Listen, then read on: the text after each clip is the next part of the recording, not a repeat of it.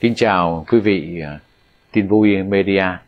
Hôm nay à, trong à, phòng thu của chúng tôi, Đức dân hạnh đón tiếp cha Mike Phạm Quang Hồng, nhân dịp mà ngài qua đây giảng phòng và chúng tôi có thực hiện chương trình tuần thánh mang tên tưởng niệm cuộc khổ nạn của Chúa Giêsu mà bài thương khó mà chúng ta vẫn thường nghe vào ngày thứ sáu đó là bài Pasio. Bài Pasio là một bài bình ca của giáo hội của chúng ta. Khi hát lên thì chúng ta được cảm nhận được rằng chúng ta có được sự thống khổ của Chúa Giêsu trong ngày chịu chết và được sự hướng dẫn của cha Tiến Lộc. À, chúng tôi đã mạnh dạn làm một bài hát mang tính chất rất Việt Nam. Để khi chúng ta nghe bài hát đó thì chúng ta cũng có cảm nhận được là chúng ta đang được nghe bài phúc âm lần thứ hai. Và trong ngày Chúa chịu nạn thì như chúng ta được biết ngày mùng 5 tháng 12 Chúa đã gọi Trà Tiên Lộc về với Chúa. Và cũng rất may là chúng tôi cũng có được cha Mikae Phạm Quang Hồng là người bạn rất thân thiết của cha Tiết Lộc.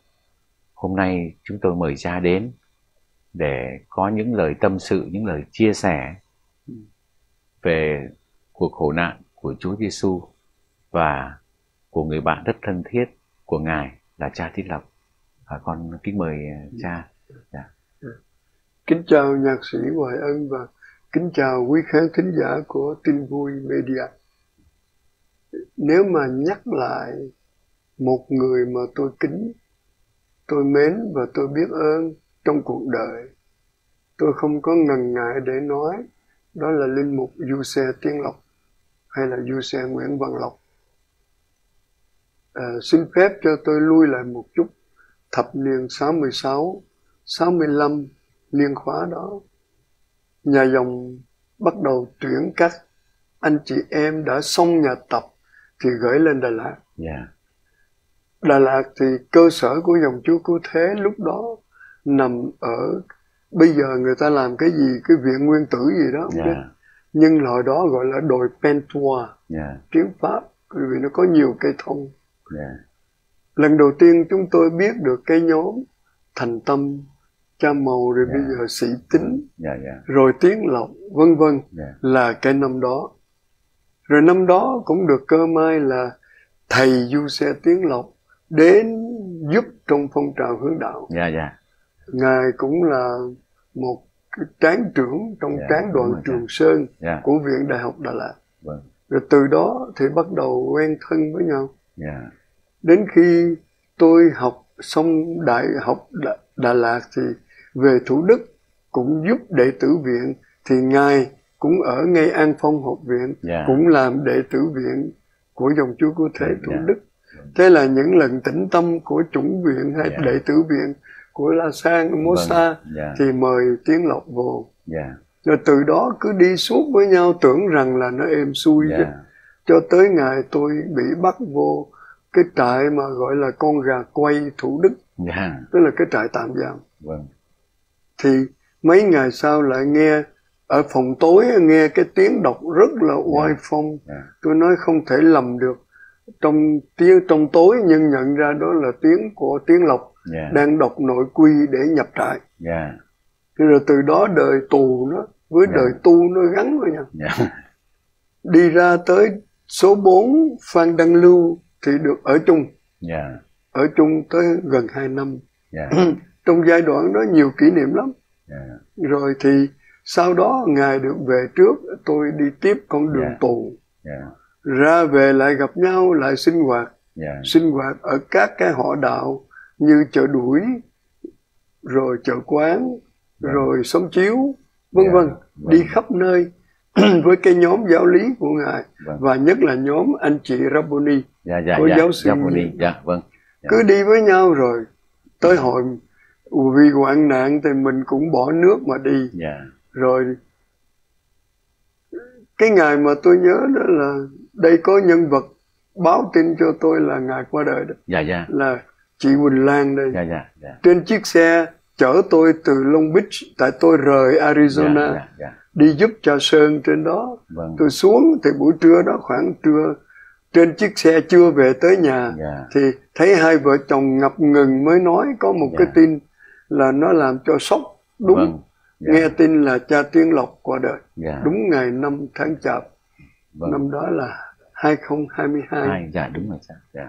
Vâng. từ đó thôi lúc đó thì tôi vừa mới hoàn tất một cái câu chuyện nói về vết chân voi với này kia dạ, dạ. để làm cái cuốn kỷ niệm của ngài đó dạ. thì không ngờ cái cuốn mà họ mừng thượng thọ đó chưa. Dạ. xong thì ngài đi rồi vâng. đó. Yeah. Thì ôn lại những kỷ niệm đó để thấy đó là người bạn rất chân tình yeah. đó là một người thầy yeah. rất đáng kính và yeah. là một người huynh trưởng hướng đạo vâng.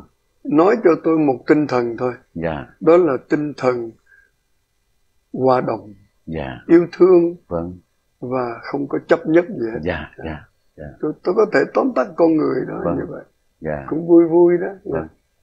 Nên hôm nay nếu mà nhờ qua nhạc sĩ yeah. Hoài Ân và tin vui media này thì tôi có cơ hội được nói công khai lên tâm tình của tôi. Yeah. Và thì hình như tôi biết rằng mọi người đều biết tôi với Tiến Lộc. Yeah. Tôi là mang ơn Tiến Lộc. Vâng. Tuần rồi tôi ở Chicago. Yeah. Sau cuộc tĩnh tâm có người chặn tôi lại nói đây món quà của Tiến Lộc mà yeah. ông ta giữ bao nhiêu năm mà. Vâng.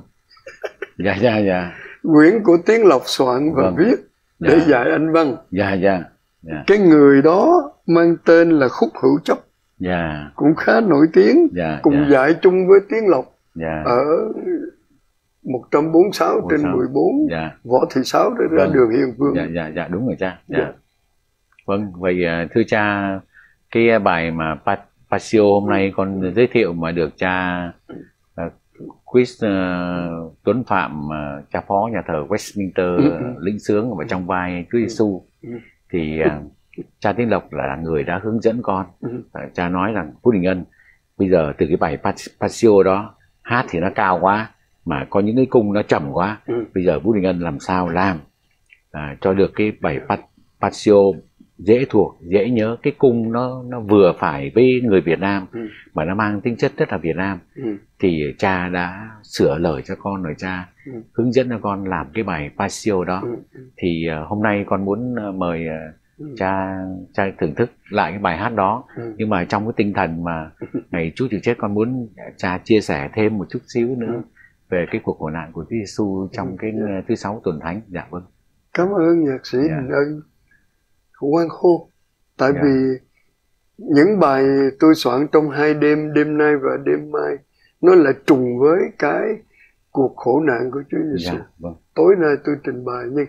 bây dạ. giờ tôi có thể tóm tắt yeah. là vì tôi cũng chịu ảnh hưởng phần nào yeah. về bộ phim The Passion của Mel Gibson. Yeah, yeah, yeah. Một uh, tài tử diễn viên nổi tiếng sinh ra ở New York yeah. nhưng 6 tuổi đi sang Úc sống yeah. và lớn lên bên Úc là một người công giáo thuộc trường phái cổ điển. Yeah, yeah.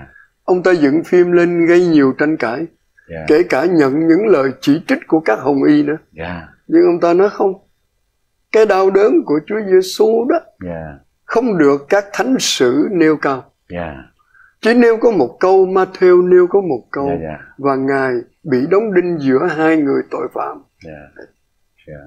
Rồi Thánh Doan cũng chẳng thấy nói yeah, nhấn yeah. mạnh, có nghĩa là hình như có một cái chủ trương chỉ nhắm mạnh đến khía cạnh khác. Yeah.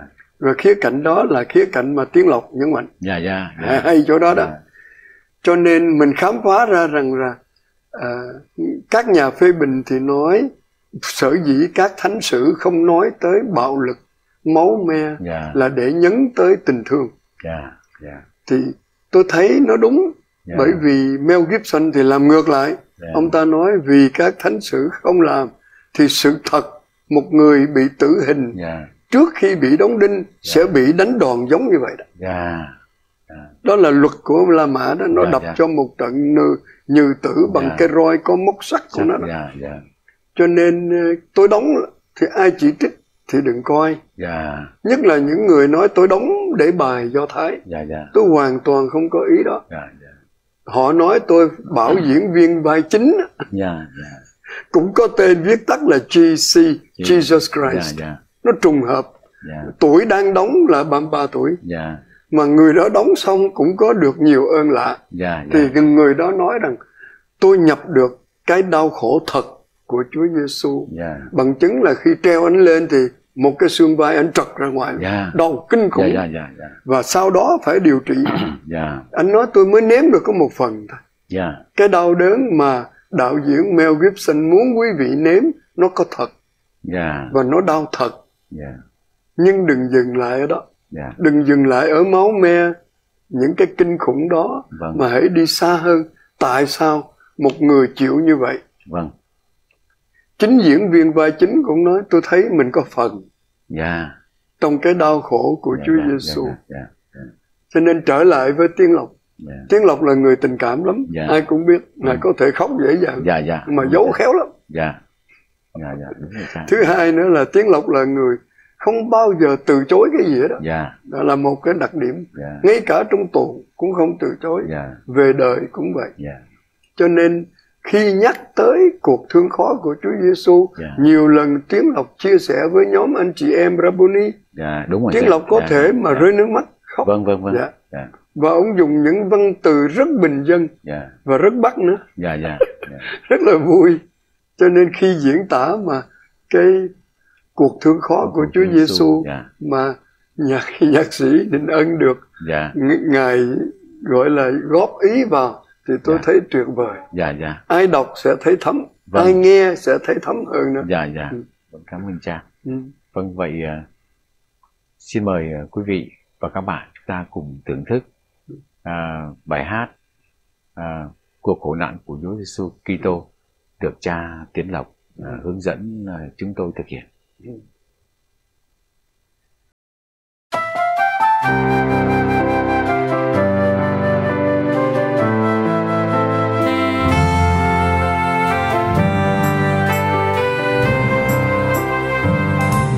biến mọi sự sẽ hoàn tất. Người nói ta khăn thế là đã hoàn tất. Rồi người vùng đầu xuống và trao thần kinh Đức Giêsu cùng các môn đệ sang bên kia suối Kidron ở đó có một khu vườn người thường đến tu hòm Juda dân một toán quân mang đèn đuốc và kỳ rơi người tiến ra và hôi các anh tìm ai? Họ đam tìm Giêsu Nazareth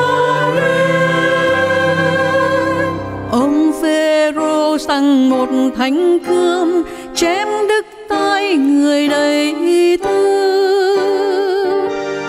Đừng Giêsu nói với Phêrô hãy soi gươm vào bao chén chùa cha đã trao cho thầy. Lẽ nào thầy chẳng uống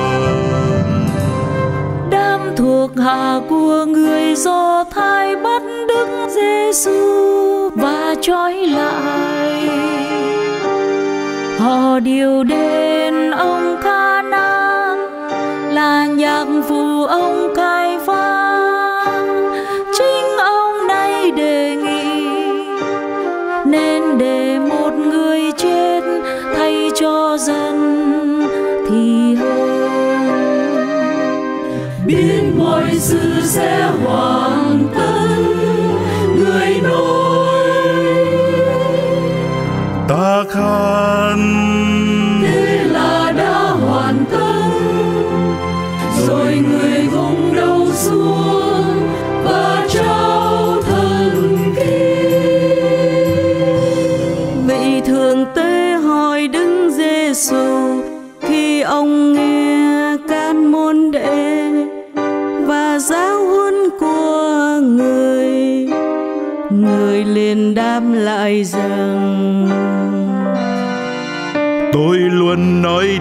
công khai, không hề nói điều lén lút điều các ông hỏi tôi, xin hỏi người nghe. Tôi nói ờ ở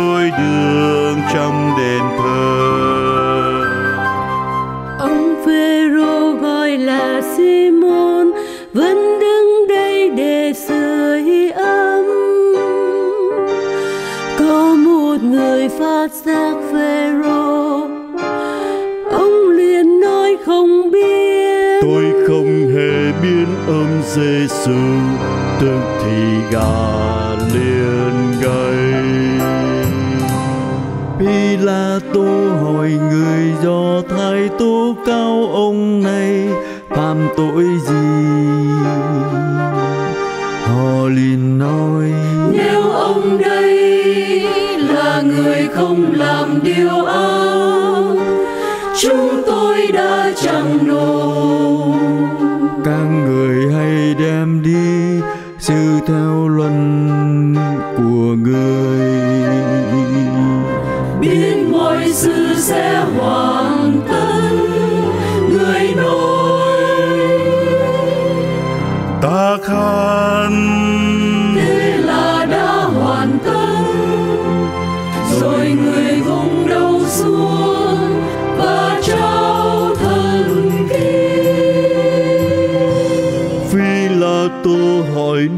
Giêsu ông Giêsu ông có phải là vua dân do thái?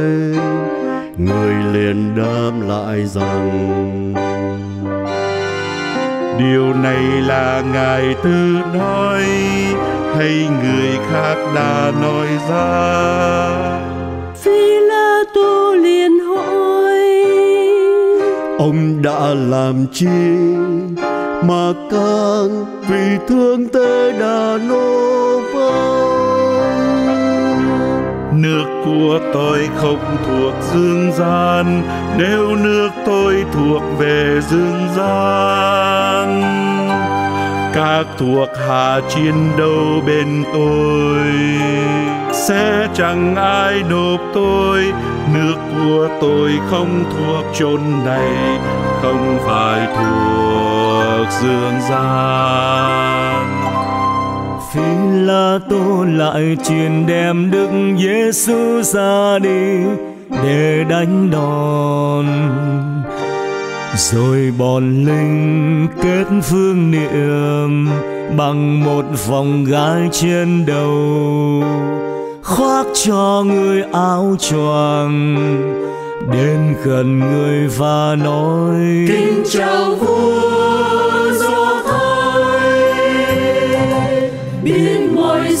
sự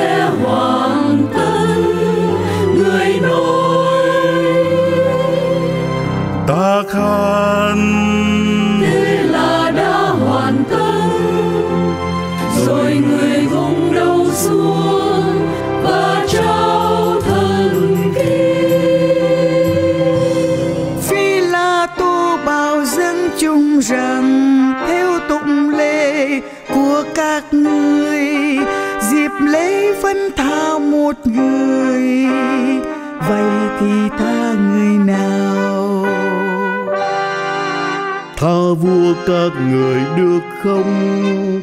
Ông này không phạm tội chi? Nhiều tiếng la vọng lên. Tha ba ra ba mà đông đinh Giêsu vào thăm giá Phi la tô bảo họ đem đi mà đông đinh vào thăm giá không hề kên an người này. Chúng tôi có lệ luân chính nó đã nói điều phạm thường. Nó là con thiên chúa.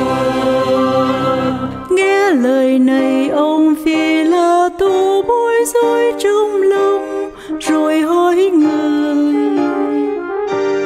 Ông từ đâu mà đến tôi đây có quyền tha ông. Ông chẳng đưa quyền hành.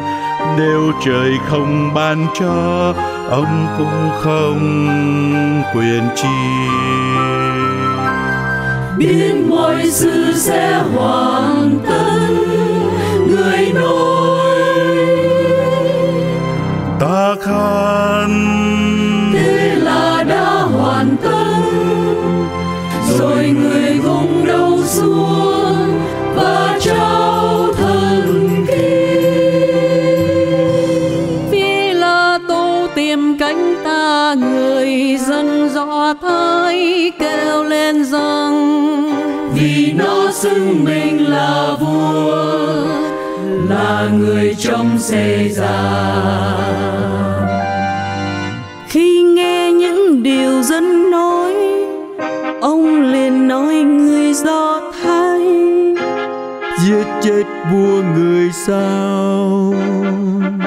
Chung lên đồng thanh hãy đóng đinh Giêsu vào thân gian Đức Giêsu vác nặng thanh giá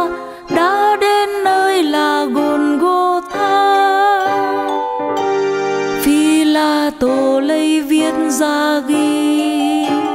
Vua dân do thái, ông viết bằng tiếng Hebrew, Hy Lạp và Latin. Đóng đinh đứng Giêsu xong lấy áo đem chia làm bốn phần mỗi người có một phần, còn một chiếc áo dài nữa. Chúng đem ra bóng thăm ưng ghềm lời kinh thánh áo sông tôi được chia. Biến mọi sự sẽ hoàn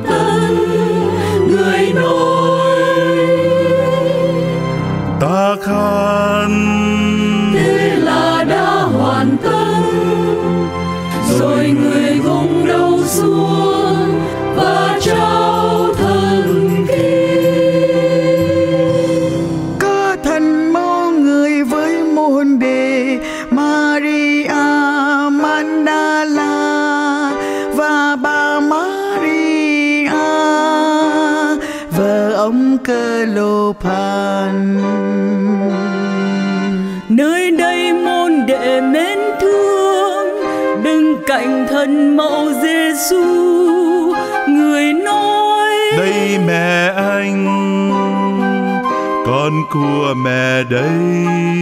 Từ đó họ đón trước mẹ về nhà. Đức Giêsu biết là mọi sự đã hoàn tất và để ứng nghiệm lời kinh thánh người nói. Tôi khăn người ta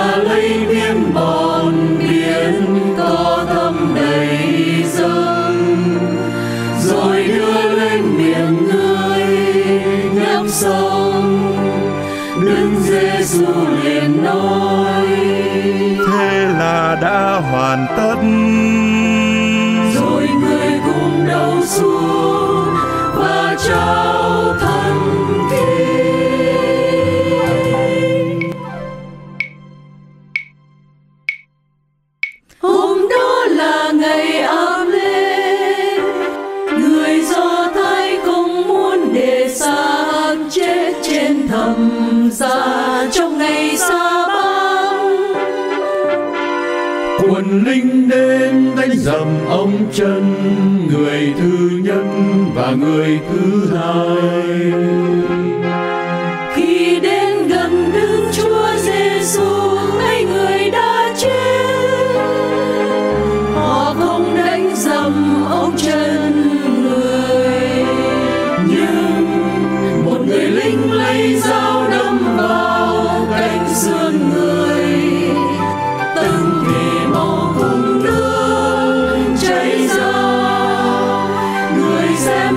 revealed my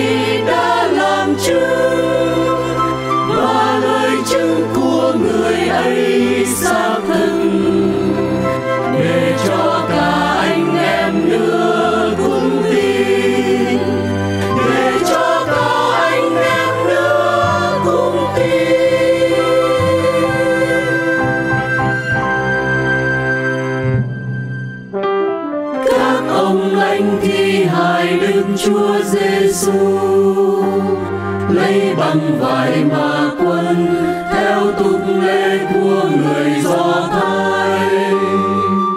Có một ngôi mộ chưa chôn cất ai, nên các ông mai tang đức chúa.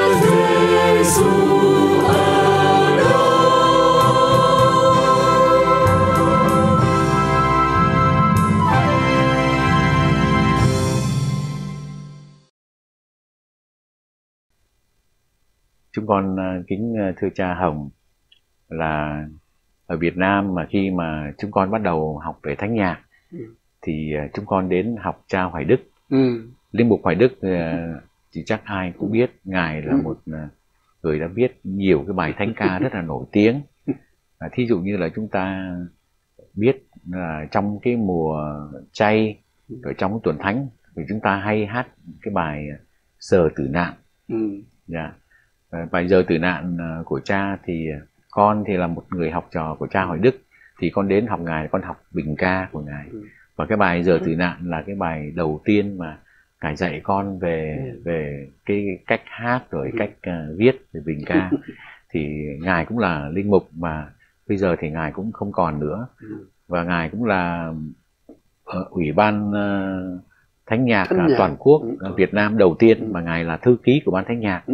thì con cũng ờ, muốn mời cha cha làm linh mục trong cái tâm tình ờ, của một linh mục thì cha con mời cha có những cái suy nghĩ chia sẻ về cha Hoài Đức Dạ. chúng con tí dạ Ừ. con con xin mời cha dạ. Ừ. dĩ nhiên là những bài nhất là trong mùa mùa chay vâng thì nhạc sĩ Đình Ân vừa mới nói dạ dạ. thì tôi đồng ý hoàn dạ toàn rồi. dạ. Thành ra mình mình đã nhấn mạnh một khía cạnh của một linh mục mà mình kính phục về Dạ. âm nhạc đó. Vâng. Thì đương nhiên nếu mà nói về sự nghiệp sáng tác về thánh nhạc dạ. thì cha Hoài Đức nhiều hơn cha Vâng, Tiến Lộc. Đúng, đúng Tiến rồi, Lộc đúng là rồi, bài đúng ca sinh hoạt. Sinh hoạt nhiều hơn đúng rồi cha. là dạ, nhộn đúng nhịp cha. vui vẻ. dạ, vâng. Và đi đâu cũng nói Dạ. tớ với ông Hồng ở đó mình là sư huynh đó. Dạ. Tớ với ông Hồng đi giúp trĩnh tâm. Dạ thì ông Hồng nói về mùa chay dạ còn tớ nói về mùa phục sinh dạ là dạ bởi vì ngài thấy vu- vui vẻ Vâng, Phật vâng. pháp còn Dạ, dạ. tôi thấy nhăn nheo á thì tôi mùa chay ông Vâng. mùa phục sinh dạ vâng thì bây giờ nếu nhắc tới kỷ niệm của cha Hoài Đức, Đức tôi dạ. rất mang ơn một bài thôi tôi không lựa bài Dạ. nào khác tới bây giờ mỗi lần dạ. lấy cái kèn ra mà thổi, cái Thổi, bài dạ. cao cung lên thôi à dạ dạ thì đủ nó nổi da gà rồi. dạ dạ dạ không tới cái phần nó lên tới nốt xón ở Xón, trên dạ, là dạ. nó nổi da gà dạ, thật. dạ vâng. Nhất là cái điệu nhạc của nó. Dạ. Thánh thiên vô cùng. Dạ ha. dạ trong vâng. cái đêm mà mình nghe cái tiếng cao cung lên dạ vâng. không thể tả được. Dạ.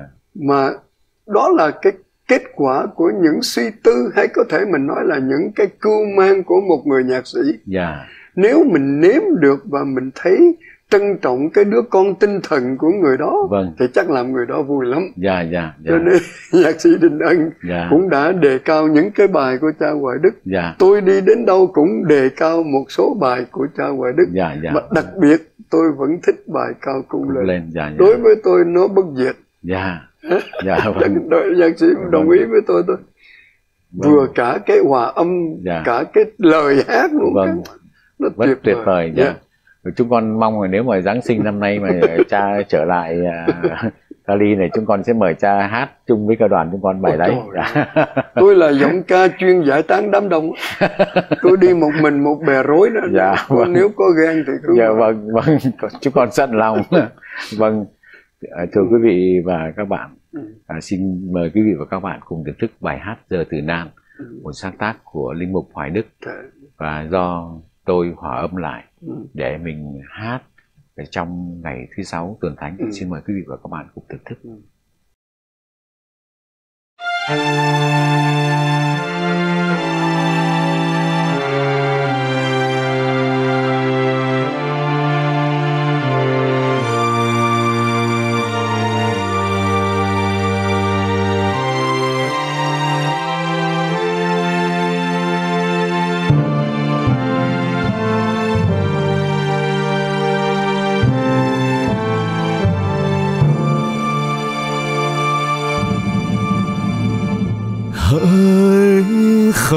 không dù sương mù.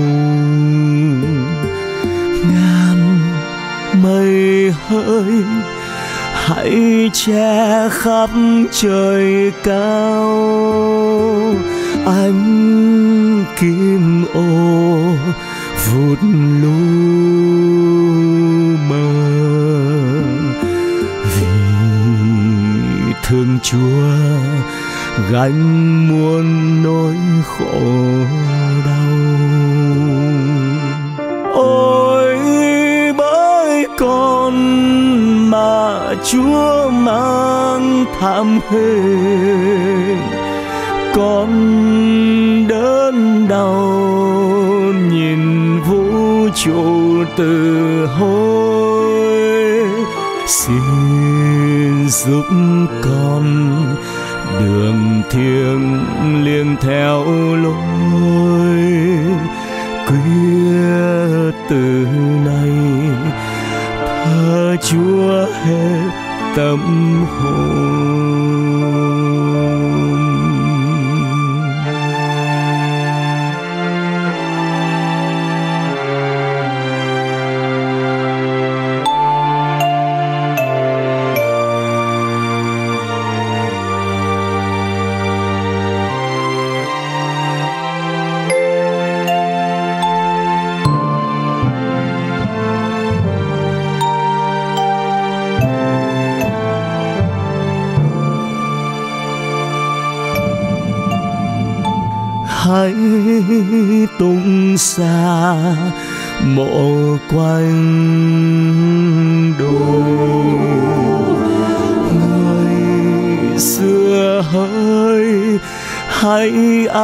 Giấc dậy mau.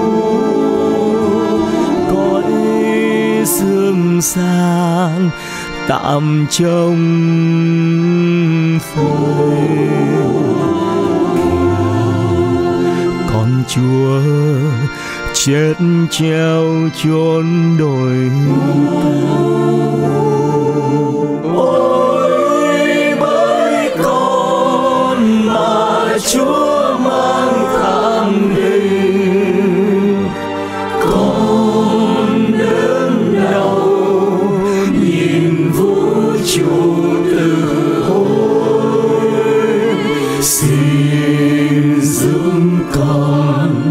đường thiêng liêng theo lối. Quyết từ nay thờ chúa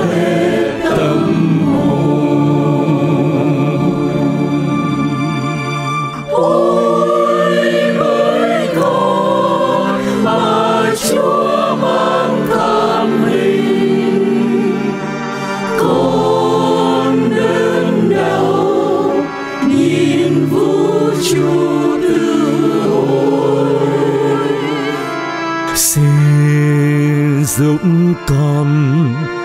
Đường thiêng liêng theo lối. Quyết từ nay, thờ chúa hết tâm hồn. Quyết từ nay, thờ chúa hết tâm hồn.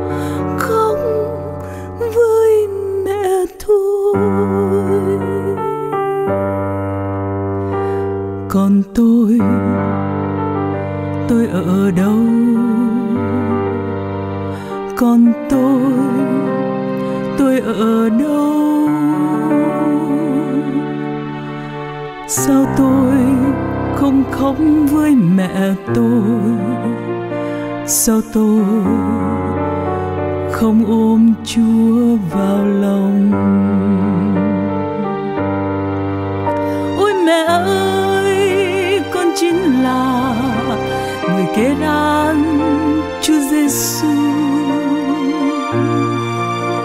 Ôi mẹ ơi, con chính là người đánh Chúa tạ tơi. Ôi mẹ ơi, con chính là người giết Chúa Giêsu.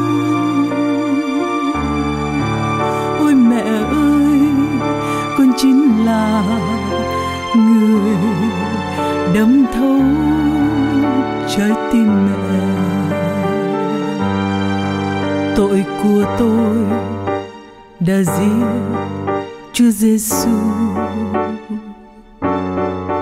Tội của tôi đã giết Chúa Giêsu. Tội của tôi đã giết Chúa